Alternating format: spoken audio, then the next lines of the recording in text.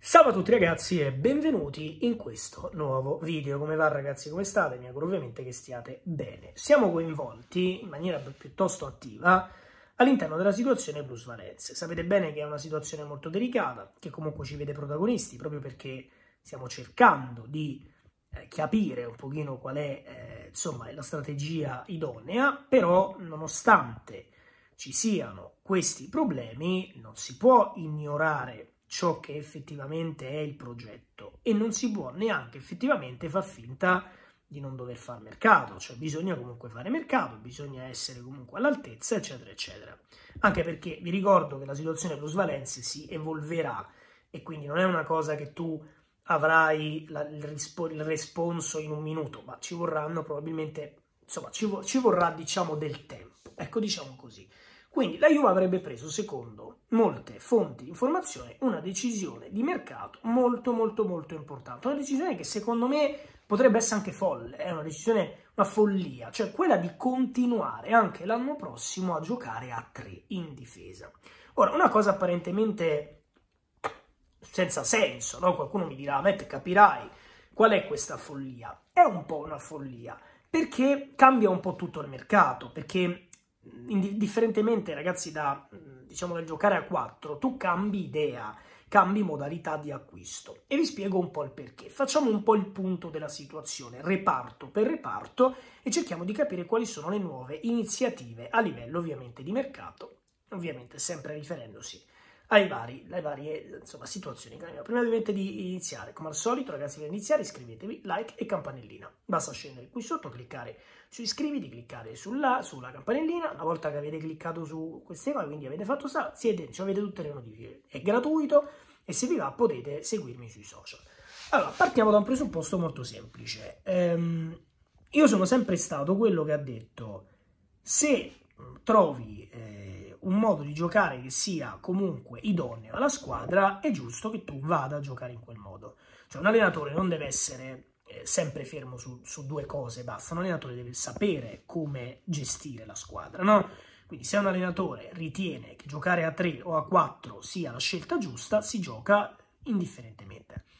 Però è anche vero dire che la maggior parte delle squadre europee che negli ultimi anni hanno fatto successo, fatta eccezione per il Chelsea che ha vinto la Champions giocando a 3, hanno giocato tutte a 4. Il Real, le altre squadre hanno sempre avuto una difesa, una linea difensiva a 4 con un mercato basato su un modulo che è probabilmente il 4-3-3, che è il modulo originario su cui tu ti stavi concentrando inizialmente. Poi una serie di situazioni ti ha portato a fare delle valutazioni differenti e sei passato a 3.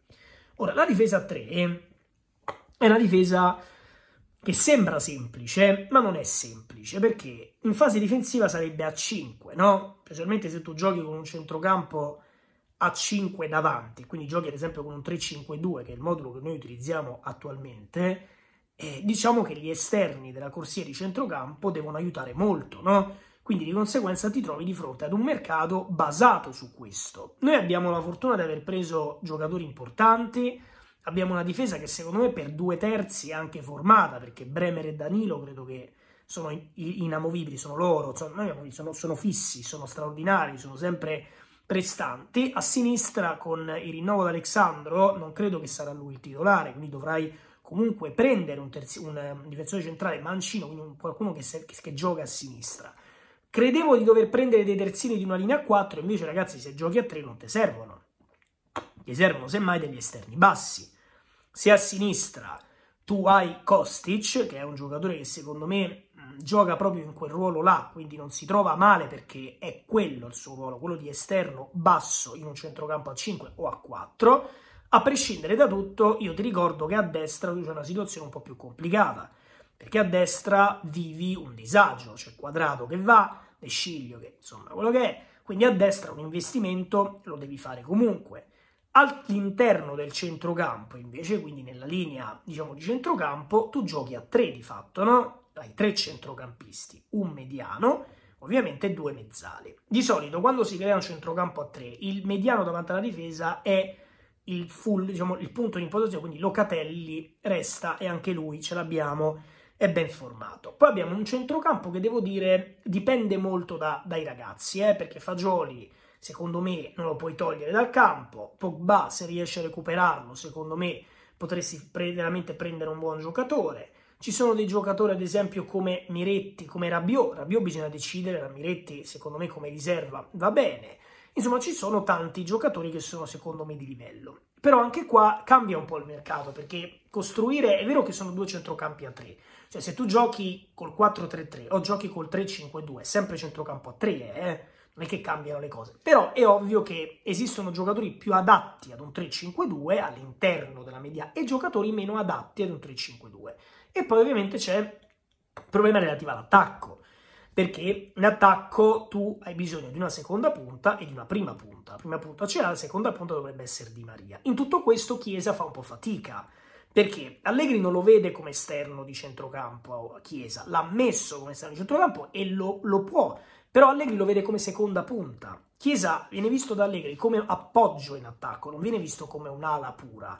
Ala se si gioca in un altro modulo. Se si gioca col 3-5-2 non può fare l'esterno, perché comunque lo, lo potrebbe, però secondo me non è proprio esattamente quello che lui fa bene, ok? Quindi lo metti come presupposto come seconda punta. Secondo me a livello di mercato questa è un po' una follia, cioè voler avere, allora, avere una linea a 3 in difesa va bene, ok?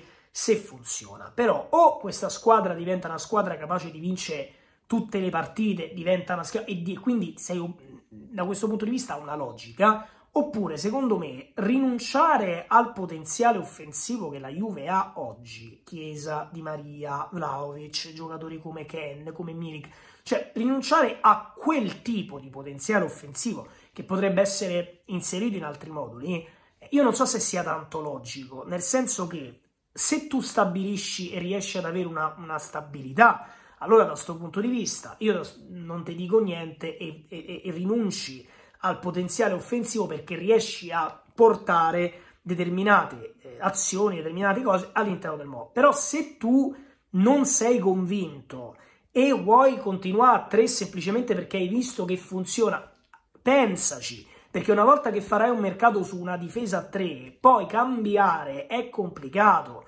perché poi ti mancheranno i terzini per farla a 4, perché la Juve a livello di terzini sta rovinata, quindi o tu prendi dei terzini e prendendo dei terzini che sappiano fare gli esterni bassi, riesci da questo punto di vista ad autenticare questa cosa, oppure la vedo dura, a mio modestissimo avviso, fare questa situazione, dire questa cosa.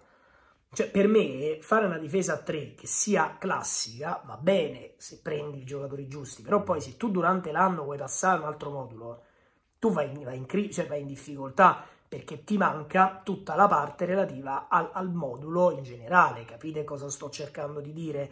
Ti manca tutta la parte relativa all'inventiva, tutta la parte relativa in generale, diciamo, alla tatticità non c'è poi quella capacità di andare a prendere i giocatori. Ecco, tutto qua. Quindi fatemi sapere un po' nei commenti cosa ne pensate voi, date un parere.